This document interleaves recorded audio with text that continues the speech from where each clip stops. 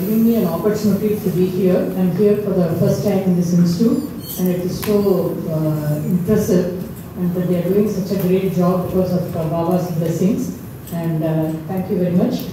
Um, uh, yesterday we had a, uh, some some of the topics were covered in the hemodynamic pressure traces. Today we will have two more uh, cases in the interactive session, followed by some interactive session on some oximetry. Following Dr. Ramakrishnan's talk, this will be very, very simple. He had such a beautiful presentation on a complex uh, topic, but this is really fundamental. But this is also important for the students. So we'll just go through the some of the rest of the hemodynamic cases. Uh, can anybody say what is, yesterday we went through all the waveforms in the chambers and the maneuvers, uh, pullbacks and all that. So here the scale is given. Can anybody interpret this? ECG is there, there for uh, correlation. It's written there, retrograde aortic cath. What is the diagnosis? Pardon, any one person? Left ventricular outflow tract obstruction. Okay, so uh, what is the obstruction? What are the types of, now they had a discussion on uh, outflow tract obstruction. So what is the possible diagnosis? Is there a clue to tell where the LVOT obstruction is? Can one person take it up? Yeah, please. Pardon? Give us the. It is, it is a dynamic obstruction or a fixed uh, membranous stenosis? Dynamic obstruction, spike and. uh, Yes. It is, it is suggestive that uh, you can see that there is a, a gradient from LV to, uh, there is no gradient at the aortic valve. The LVOT and the aortic pressure, pre- pressures are the same. The gradient is between the LV body and the left ventricular outflow tract. So, but when the catheter is pulled back into the aorta, you can see there is a typical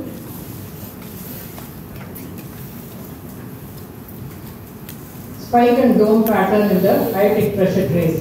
This is not uh, very beautiful, but uh, some more traces are coming, I will show you. Uh, the, the ejection is typically mid-systolic in the early part of ejection is uh, not obstructive in HOCM, unlike in fixed uh, valvular stenosis, which starts even from the beginning of uh, systole. So the initial, because the initial ejection is unobstructed, you have a spike, and the early ejection is very rapid. You can see in the aortic pressure trace, the upstroke is quite uh, brisk and uh, there is is unobstructed. And after the initial ejection, the obstruction comes on because of the venturi effect. Uh, uh, mitral effect touches the septum, and then the obstruction comes, and then you have the dome. So the typical uh, spike and dome is suggestive of uh, dynamic obstruction.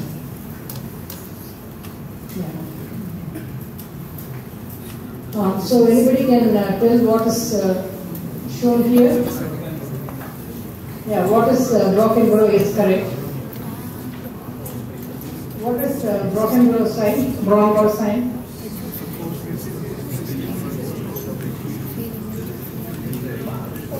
What is uh, Can someone take it yeah, any one of you? Post VPC, uh, there is a increase in gradient, but there is a fall in Fallen, yes. pulse pressure is decreased. Pulse pressure, yes. Increase in gradient. Why? How is it different from fixed uh, aortic Fixed stenosis? obstruction also there is increase in gradient, but the pulse pressure will not. uh, Yes. So the fall in the pulse pressure, yes, good. You can see that the this is the pulse pressure in the aorta. You can see there is a good gradient between LV and aorta in this beat, and then there is an extrasystole, and then you have a long uh, filling period following the ectopic beat, and then you have the obstruction which is worse, and you can have the LV pressure goes up and the pulse pressure becomes less. That is, that is the that is the Braunwald sign, uh, Brockenbrough Braunwald sign. And because the obstruction is worsened, this is because of excessive contractility in the post uh, extrasystolic beat that the obstruction is worsened as in a uh, as against a fixed sub, fixed stenosis where the obstruction is not worsened but the gradient is more. So you have the LV pressure is very high and the pulse pressure is small. That is different from uh, stenosis. Because the obstruction is worsened, the spike and dome has become very classical and obvious. So here you the same thing is explained here. You can see the pulse pressure is this is the pulse pressure in the normal beat and following the extrasystole the pulse pressure is narrow. That is the Brockenbrough-Braunwald sign in the dynamic LVOTO. But this is the fixed uh, stenosis where you have a good gradient between LV and aorta and then you have an extrasystole and in post extrasystolic beat you can see the pulse pressure is actually little more than this, this beat. That is before the obstruction. So here also the gradient is becoming more but the pulse pressure doesn't become less. So that is how you tell the fixed valvar stenosis. Can you tell the difference again here between the two traces?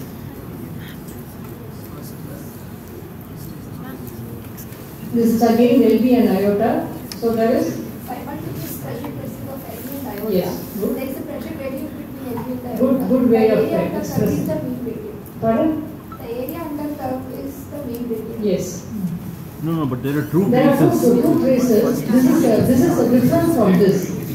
There are two different patients. It's not the same. Both have uh, LVOT obstruction. There is a good gradient. What you are saying is that the mean gradient is uh, shown here. What else?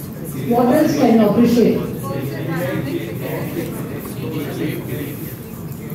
Ah, yes. Yes.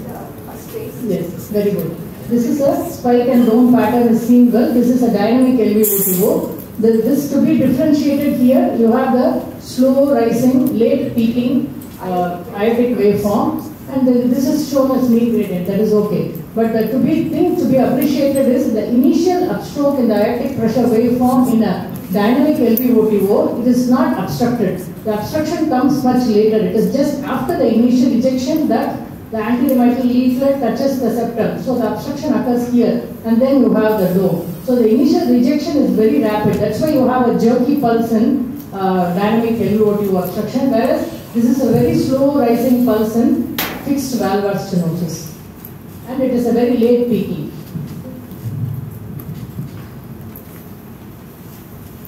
Yeah, can you comment on this trace? This is again LV and aorta. It's all marked here. Brachial artery actually. The LV and aorta. Please take the mic and Yesterday we were discussing what are all the factors you have to look at when you interpret a trace. Uh, Ma'am, this is uh, simultaneous tracing of LV and aorta. In the first part, that is AF is there, so atrial peak is not there. That is why preload is less, so gradient is more. In the next half, sinus rhythm is there, so atrial peak will be more. So the preload will increase and gradient will decrease. That is- Excellent, excellent. Not AF, but in Not A, some kind of neural uh, rhythm. Yes, there is no A, there is no AV synchrony. Good, very good uh, interpretation, and you have to always look at the ECG when you look at the pressure trace. Very good. Then this. This is also, it's all marked here, Will be iota, scale, everything is written here. It is a pullback. Yes. So can you interpret uh, supravalvular AS diagnosis is correct? When you pull back from LV to aorta, You don't how have do to how record do you things like read it or how do you In come to first part, we can see the catheter inside the LV, the diastolic pressure is much low. As we pull back, the diastolic pressure is increased and diastolic pressure is the same in the third part also. So it indicating we are in the aorta.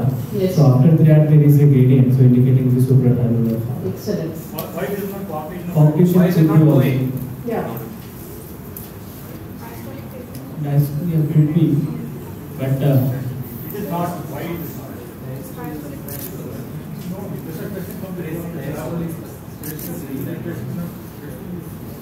Yeah, one is immediately following the thing. Then, what else, you can look at the waveform and uh, anything suggested from the waveform in the proximal uh, high pressure chamber in the aorta. Anything to suggest that it is uh, supravalvular AS rather than a coarct. Looking at the waveform itself, as we a clue. Yes. Diastolic pressure would have. Look at the diastolic pressure. And the diastolic pressure. So there is diastolic pressure is uh, lower than 100 there. And then look at this here. Uh, there is no diastolic gradient. What is the mirror gate actually gradient? Mirror gate actually gradient, but contour, contour of the patient is still less. Yes. Con- contour and a very Very low. Here also will be made. Yes. And uh, the low, very low dicrotic uh, notch is very classical of the high pressure chamber in the aorta, in Subrata. Can we tell them in presence of hypertension in coarctation? Like if tracing is showing, then we can say clearly it's coarctation. What is it? Can we tell them in presence of hypertension, this type of trace is coarctation? What, what cooperation, uh, The- the- the diastolic rate- pressure won't Like, like there are multiple pointers that this is not coarctation. If it is coarctation, then what will happen? One is the diastolic pressure, the earlier days will be higher. There could be a diastolic gradient, but then most importantly, as ma'am showed in the previous stage, there will be a delay in the peaking of the peak. Here the peak of between these two, if you superimpose the peak is the same. There is no delay between that and this.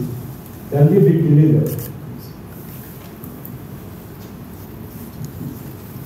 Okay. Uh, Sorry. Also in supravalvular AS, there will be supravalvular AS, there will be hypertension in the proximal component, but you won't recognize it in the limb because you will be recording beyond the site of obstruction.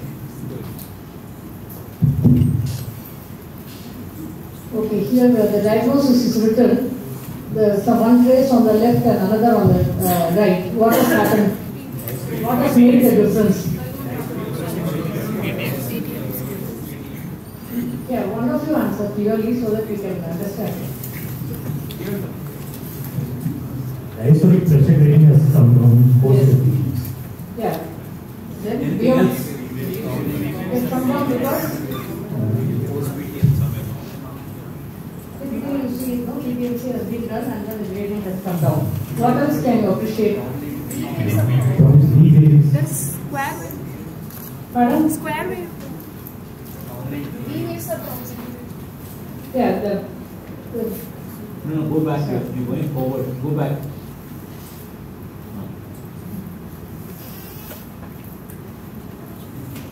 beyond this, uh, the gradient has come down, that is very, everybody is, uh, it's very clear. But you look at the uh, itself, once the mitral valve is open, you can see the uh, y descent has become much more steep and rapid rather than very slow fall because of the obstructed uh, mitral valve. And then the filling in the ventricle also is, the early rapid filling is quite fast, whereas it is very slow when the mitral valve is obstructed. So you can, you have to look at the waveform also and appreciate the uh, features. Uh, uh, here the ED has come down actually. What are the situations in which ED will rise? One, but then most, most common when you have a ED rise, it's not because of. So they must just open the so suddenly LV starts filling So generally the chronic, for example, what, why this question is important because many of you don't assist people anymore. But, uh, but the why this question is important is that you cannot just look at the area pressure to decide whether PTMC is successful or not. So at times the ED increases, the ED increases that because of that the area pressure will be higher. So you may have to always look at the gradient. So what are situations in which the ED is rises because there is a chronically underfilled LV, severe uh, or long-standing MS. There can be a chronic underfilled LV. Once the LV has a volume overload, suddenly the uh, the LV can rise. And it is well known that long-standing MS and in the presence of AR, associated AR, the LV is generally rises. Here it's nicely come down. Okay, now again, you have a simultaneous LV LA pressure trace. How severe is this mitral stenosis? Look at the rhythm also.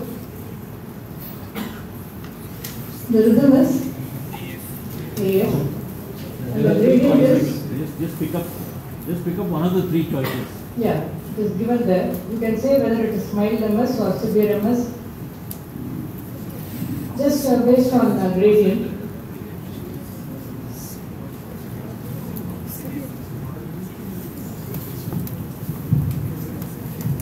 Long dash was that is for long dash so the whole dash is very back Yeah, sir, yes, sir is giving a clue now. So yeah, at least it is not my, There is a significant good. Uh, the whole of diastole there is a gradient existing up to the in end diastole also there is a good gradient, and the scale is here uh, 50 almost is uh, 25. So it is significant MS. So, This like, is- uh, Yes, yes. Just go back to, like Yeah. always, always, you're all echo people. Your, your primary understanding of echo is much better than the previous generation. Whenever you're asked about hemodynamics, whenever you're asked about a clinical interpretation, always think of your echo. So same thing in your echo, what will be the pattern like? It is going to be a pattern like this. It's going to be a pattern like M. The same thing is going to be reversed. It's going to be a good M. So the question is very simple to answer. It's going to be severe MS in the same thing clinically also when you are asked to interpret how it is going to be, always think of your echo because you see thousands of echoes. Yes, that is very excellent. I always you keep, yesterday also I showed you the correlation in aortic stenosis. Uh, it was uh, overlapped with the echo. Always you, you do echo and then you take the patient to the lab. So you already have some idea and you can compare. So this is how severe. This is again similar patient. Patient this patient also is a atrial fibrillation and this is a little longer cycle. So how severe is this MS?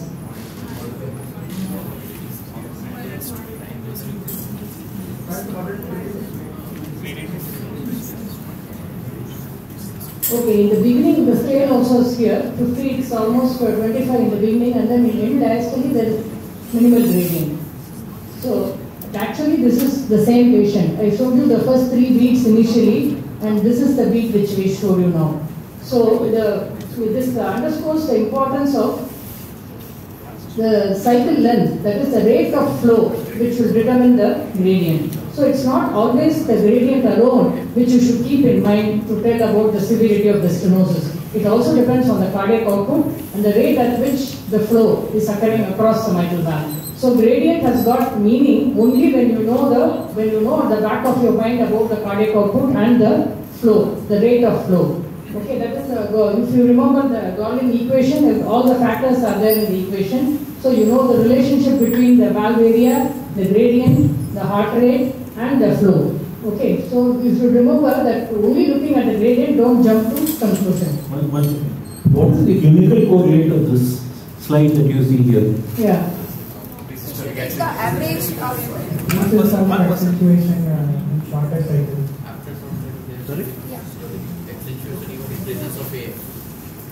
in AF at high rates, uh, the whatever gradient we get on echo may not be true. Uh, I said clinical, clinical.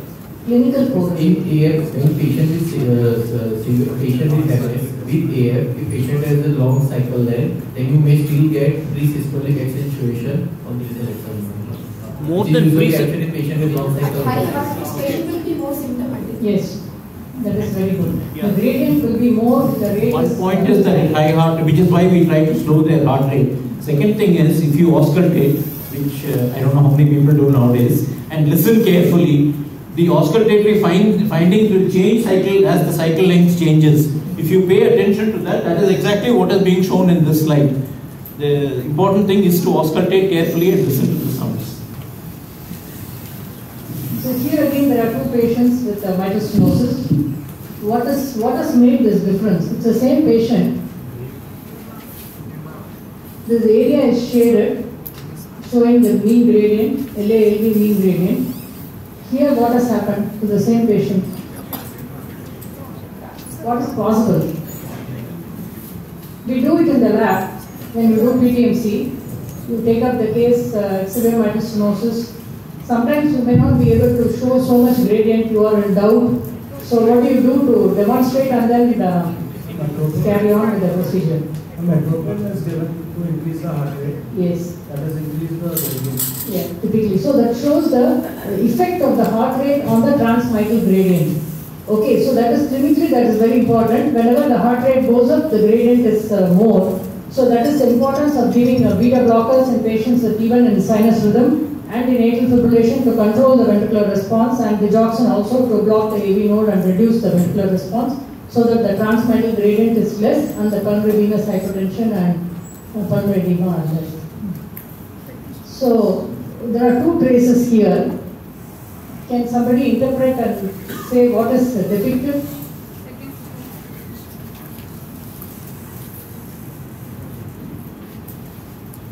Please make an attempt. Second Yeah, who? Yes. Give the mic there. Explain without uh, jumping to conclusions. Say stenosis. Um, in first uh, diagram, the LA pressure is 6 and uh, that uh, uh, that is transmitted to pulmonary venous. Then there is a transpulmonary gradient of around uh, 14. So, uh, sorry, 6. So, uh, it is just a passive transmission of pressure. In the second, there is development of active uh, stenosis because of pulmonary vasoconstriction.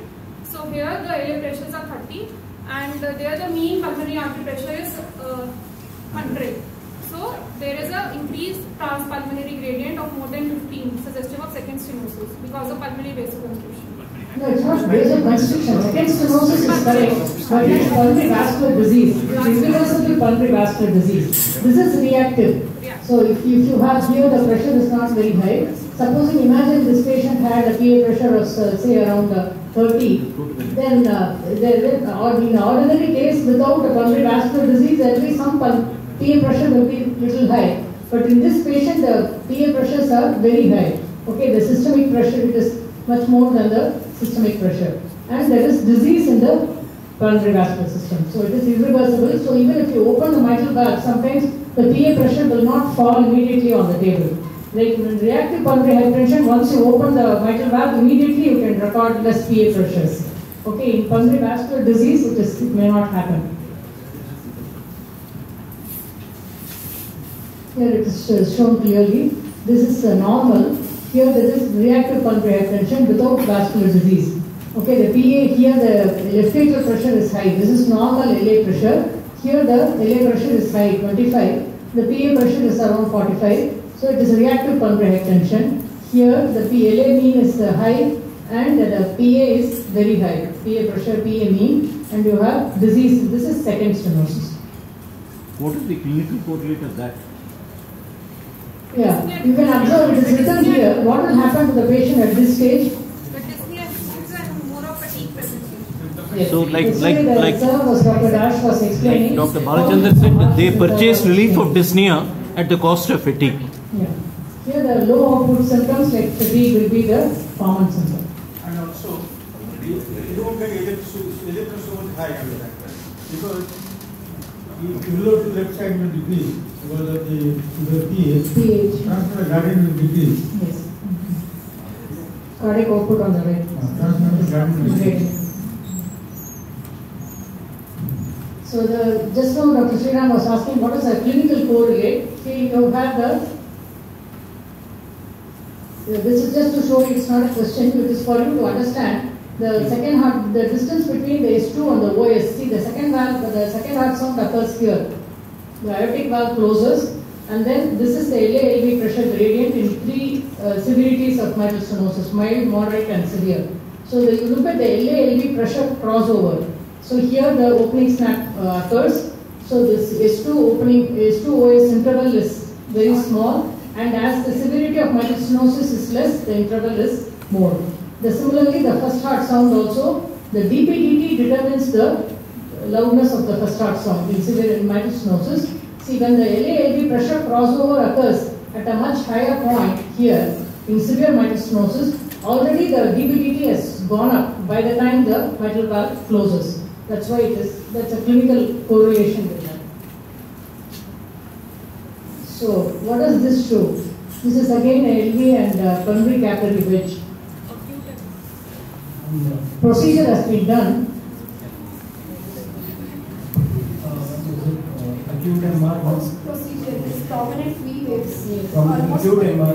like- like more than- Yeah, this is one tracing you don't like to look at. This is you are dreading this uh, condition in every you do. So uh, very severe MR with a very large giant uh, V wave because LA is small and non-compliant. Not in all cases. You do take up cases which are very giant LA with chronic. We do we do such procedures very often. But this is a typical patient in which the LA is uh, small and then they don't uh, tolerate. You go into MR. The same patient uh, I showed this page yesterday also, it's uh, interesting. Uh, the same when, when you produce such severe MR in a non-compliant LA, can just get transmitted to the PA and can produce an artifact in the dicrotic limb of the uh, PA. Here again, the severe That is, MR. that is known as Campbell Holmes sign. Campbell Holmes Yes. sign. But how do you say that We that it's a V wave? It's an artifact. But how do you know exactly that that is a V wave of uh,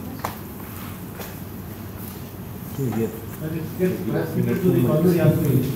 And you know, to know it's a V wave. Remember that the V wave will be inscribed before the dicrotic.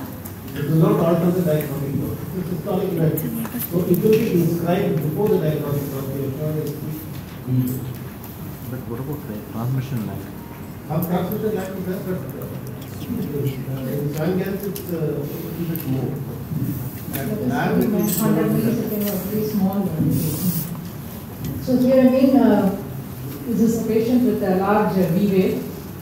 In patient uh, this side A, what has happened is B? They produced uh, severe MR. There is a giant uh, V wave there in LA pressure trace. This is LV. The scale is here. V wave height is something like 45 to 50. And here what has happened? V wave height has come down. What possibly has been done to achieve this? Pardon? Yes, excellent. We reduce the afterload and then the regurgitation will come down. Okay, facilitate forward flow. So here again, there are, uh, this is interesting. Patient one and patient two. So simultaneous LV is uh, uh, yellow color, red is RV. Simultaneous LV and RV pressure recorded. This is one patient, this is another patient. During inspiration and expiration, it is shown. Both have uh, restrictive physiology. You can see the uh, diastolic pressures is elevated and equal. the first phase, Different plateaus. Pardon? In the first phase, uh, there is uh, exaggerated every intervention. Yes. So how do you explain uh, this for that? It's a good, very good answer. Uh, So what is the when there is condition? If you- is less, the more. Yes. During inspiration. Yes. So that is the diagnostic of which condition? Yes. So this is where there won't be so much interdependence is Yes. Very good. We'll move on to some oximetry uh, cases. Very few cases, some seven or seven or five or six are there. So you can uh, try and interpret. You can break. No, no, sir. We'll, you can continue. Shall we break? No, no, sir. You can continue. Okay. Uh, always you interpret the oximetry in the light of uh, clinical data and uh, also hemodynamics is uh, given in the cases and you have to correlate the clinical hemodynamic and the oximetry data. Here is the baby 5 day old uh, with profound cyanosis. There is no cardiomegaly on the X-ray. Second heart sound is single. There is no murmur at all. ABG PO2 is very low. Saturation is 40% and there is acidosis. This is the oximetry. Just now, doctor gave an, uh, Dr. Ramakrishnan gave an extensive talk on cyanotic heart disease. So, what is uh, what is your observation? RA saturation. Look at the saturation and the pressures. PA saturation is. Can anybody interpret? Yeah. Somebody answer. Answer. You, you can uh, answer. You can see here the oximetry, LV and uh, PA saturation and the pressures. Our LV is connected to. Uh, the RV pressure and the PA pressures are not coordinating, uh, are not concordant, and also the uh, saturations. But RV uh, uh, saturation is coinciding with aortic saturation, so there is uh, VA discordance. So it's Yeah. leaking. RV, uh, RV saturation is coinciding with the saturation. RV pressure is the aortic uh, pressure. So it is uh, TGA is correct. Then, then, Yes. then what else is there? Okay, PGF physiology. And the far- farmer ECM PGF is whenever there is cyanosis and look at the uh, uh, PA saturation, aorta saturation. If they are same, then think of uh, uh, mixture. If the PS saturation more immediately think of TGA. Then immediately on the other side it correlates. R is uh, linked to aorta and uh, L is linked to PA. Now that is not that is not enough for at EM level. So else is uh, needed? Is it is it restricted ESG or uh, no ESG? How do you look at it? RV level. Suppose it is a non-restrictive ESG, the pressure will be same. Here the pressure is 110 versus 60. So there has to be a restrictive ESG. You don't expect a 60 pressure LV in a uh, small unit or infrared. There has to be a restrictive ESG up here. So is there a step up happening there? There's a step up happening there. Then, then you look at uh, the atrial level. Is the ESG adequate? Obviously, this is saturation area has to be adequate. The LA pressure is slightly higher than RF. So all this should be your full diagnosis. So then whether that's what the restrictive to ASD, then you have to do whether to do, do a septostomy and all those questions. Uh, there is another child who is 35 year old with uh, increased uh, precordial activity and there is uh, cyanosis. This is the saturation. Can someone just take it up and explain why? The saturation is with the all chamber is the same. It's admixture physiology. Uh, 90% in the all. LA, RA chambers and pressure also. Outer is 110 uh, RBs. PA pressure is No, but beyond that, beyond that, like Dr. Ramakrishnan said, this is DM. Yeah. Ah. Where is the TAPVC? So there No, is ASD is there, obligatory electrical. RA and uh, LA pressures are equal. What level is What it? level is the TAPVC? Why supracardiac? SVC after R. Might be SVC. RA level step up is there. RA level is there. So supracardiac, where will be the step up? SBC SVC. So SVC is quite okay. It is a cardiac type. From the, the step up is in the RA. There is some uh, pulmonary hypertension. I think maybe we'll use this to clarify one more uh, common mistake that error that happens. The, the, who was answering the question? Who was answering very well, but I made one mistake. Anybody feel that was mistake? Is it an obligatory shunt? What is an obligatory hemoglobin deficiency? There are two things here. One is uh, English obligatory. That means uh, this ASD is not going, the will die. That's an English obligatory. But what does an obligatory mean by hemodynamics? Irrespective. That is what is uh, obligatory. So, so, so that is that, this may not be a classical obligatory by the definition.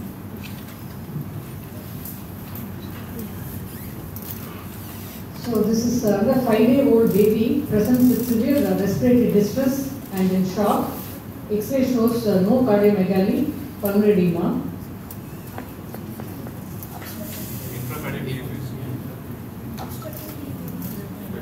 Yeah, where is the PAPC? IDC saturation is Yes.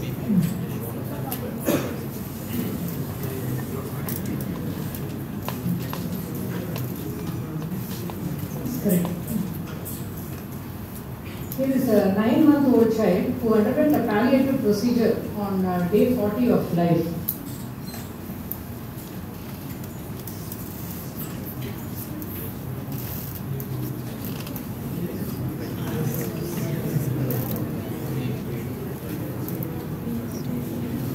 Can you take it from probably a BT shunt. There is a large unrestricted ASD. LV and RV uh, pressures are equal. We can see step up at the PA level, Yes. likely uh, Pulse pressure is also. Yeah, BT shunt, tetralogy with uh, BT shunt. There is an 18-year-old boy who presents with deferred intolerance of uh, recent onset. Recently detected to have uh, heart disease.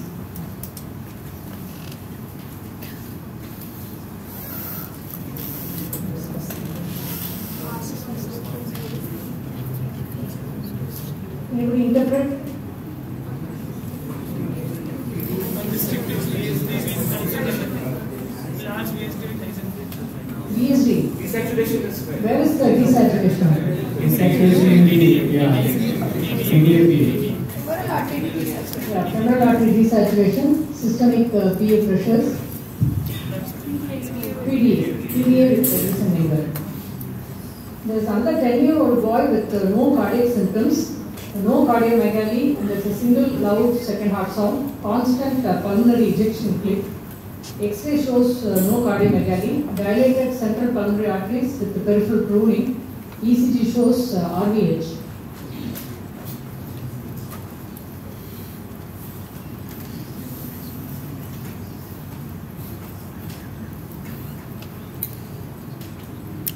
I don't know if Dr. Ramakrishnan can uh, tell something about oxygen studies present day. We don't, we are not uh, so much into pediatric. So, uh, any current uh, thoughts on uh, practice of uh, using oxygen? I think more and more practices are coming to be more conservative now uh, than before. The guidelines are really, really coming down on the PVR at all operating. Uh, some point of time we thought we can, can expand the limits and start operating more, but then now we are coming down on, uh, we don't operate uh, most of the. Uh, at least the guidelines is the Some of Western guidelines say that beyond six PVR you don't operate. Six PVR. You know, do you use the PVRI to STR ratio nowadays? Yeah, I think, I think that's also useful. Uh, the only biggest advantage of the ratio is that it takes away all your. Other assets, yes. That is the biggest advantage of that.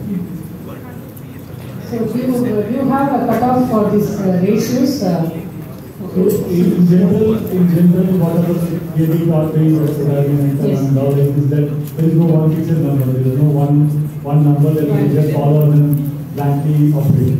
There's always a Unless- area. Unless you have to put everything together Yes. in the patient as a whole. So most important data that is in this is the what is the age of the patient. The same, same thing in a, like for example, the data alone, uh, let's me, a two-year-old the same data is a totally different ballgame compared to a twenty-year-old with the same data. So that is where the, uh, everything I will put into this. So one more thing that asks is beyond oxygen, are we looking at it? Like, are we thinking in terms of like nitric oxide? Nitric oxide or Does it change? So, so nitric oxide, we have used and we have worked out with us. So always, almost always it makes uh, everybody operate like. So the bottom line is that uh, your baseline data is most important. Your baseline PVR is 16 or 14, 15. Whatever comes up after your treatment, don't, don't follow that. So base, this, this, this uh, reduction with any agent is applicable when there is a borderline flow. If your baseline PVR is 16, 15, there is no point. It is there, it comes down to 3 also, it has no meaning. Till the time the baseline PVR is beyond the limit. Can't we just uh, assess the PA diastole instead of looking at the? Just see the form of the PA diastole, if it comes down, say around 40, that itself will make it comfortable. So I think that is the most important that we can look at, like, PA diastolic pressure. Uh, but the systematic studies are limited, people are not looking into that. like, that. But the PDA, uh, association, PDA burnout group, they have looked at this specifically, and they have come up with criteria for the PDA burnout is important to that.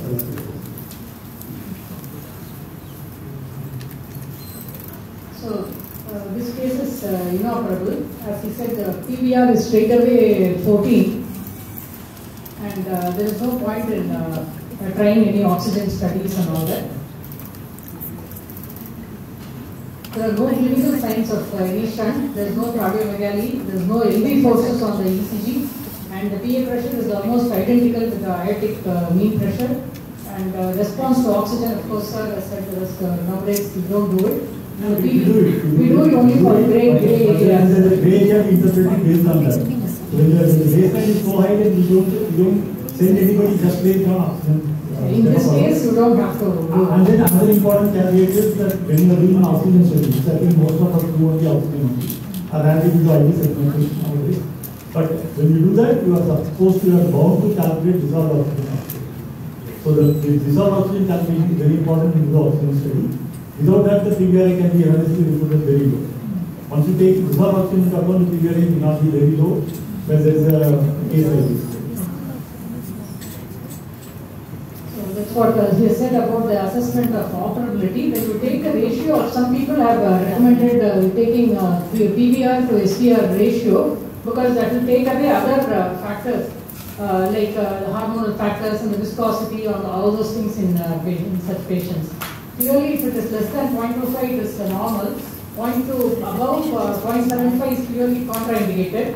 0.25 to 0.5 with the net shunts is left to right and the ratio is less than 0.5 is still maybe operable. Between 0.5 and 0.75 is still a gray area and uh, you don't know whether the oxygen studies will help. And uh, this is a child with uh, 8 months old, uh, Down syndrome.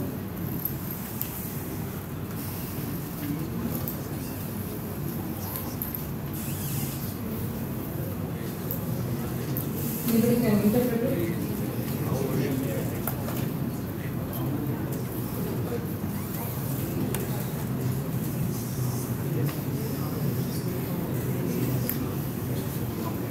And, uh, just to read out the oximetry data and to say your comment. There is uh, pulmonary hypertension, like uh, systemic pressures.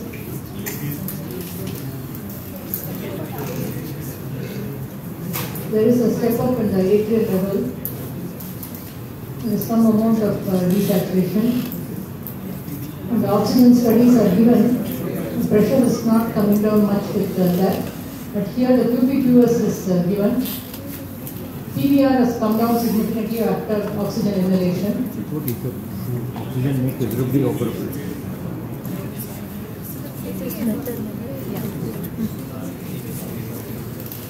This is uh, 87 Down syndrome. Sir, you can- It's a very, very big race that can uh, get a lot of your conduct here. Like, there is actually, even though the saturation is 90, there is not much of step down happening. The wedge is also 91, saturation is 91.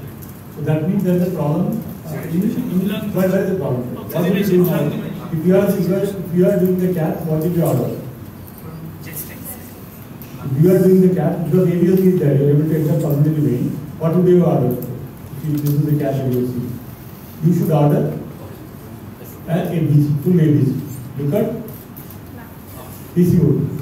Because it could be erroneous uh, uh, early. That's number one. Number two, it can be a uh, non-cardiac issues in Down syndrome. Or could be other possibilities. So then for that ABC will help you. That's number one. Then, then other issue that why should the uh, uh, wedge be 91 in a 8 month old child? pain, there no reason it should be there. So you have to think of some other respiratory cause or uh, oversedation, has to be ruled. What is the non-cardiac issue in uh, Down syndrome?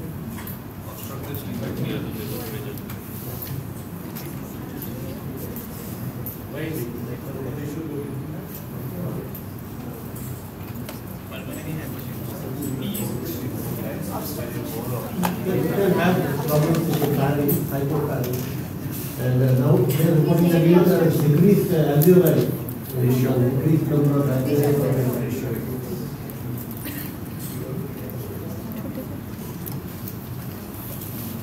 that child can be operated.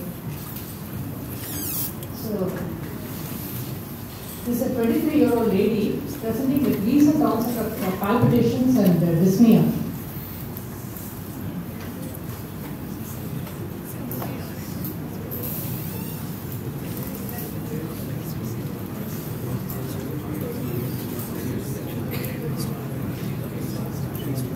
Uh, interpret uh, oxygen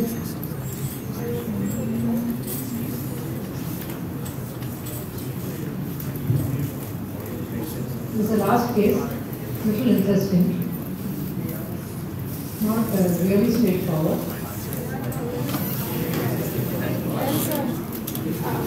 Just give, just give him. Why, why so? There's a step up in RA level. Yes. There's a step up in RA Why not level. the ASD? And uh, there's the equalization of pressures of LA and RA. So it's not ASD, there's step up at RA level and also the aortic diastolic is too low. Very good. Good observation. And LVD is also You have to high. Systematically look at everything.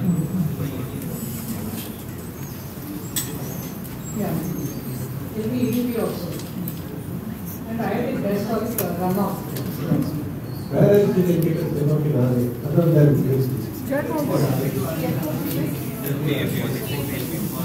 When they ask this question, remember it like this, like, one is at level, like, at that level, that is ALC. And other one is one step higher, higher and one step lower.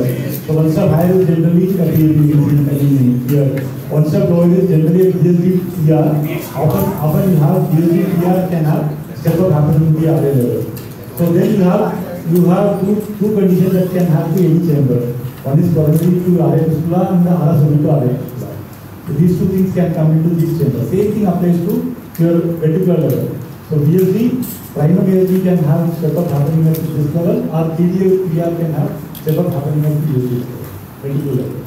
Then you have RSLV to RV and then you have coronary level. That way, you know, like very to understand. One uh, very nice question before we go for the yesterday very many of you were here. Very good very good question.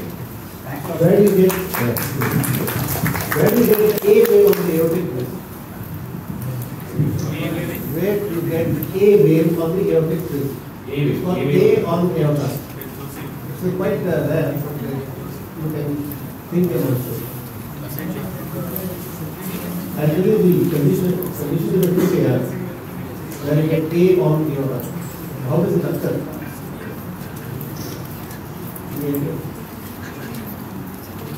In acute AR, the LVDP can rise so much that it will open the aortic valve. Once it opens the aortic valve, the LA contraction which is there will get transmitted to the aorta. So you will get a A wave on the aorta. It's called A is just a hemodynamic curiosity. Ma'am, I thank you so much for this wonderful session bringing back the essence of clinical cardiology and hemodynamic traces. Thank you, ma'am. Thank you so much. Uh, we now break for lunch. Uh, I request the delegates to use the canteen down the ramp. Uh, food will be served there and paper tea on my right side. Thank you so much. We join back for two short cases after this and we have one more round of OSCE.